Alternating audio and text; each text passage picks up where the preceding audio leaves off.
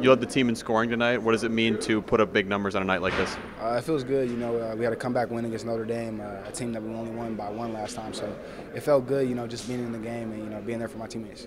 Got down by a little bit in the second half, kind of came back as a team together. A bunch of guys chipped in. What does that say about the character of this team? Uh, you know, through adversity, we fight. Uh, we don't just give up. And I think that's what we did tonight, real good in the second half.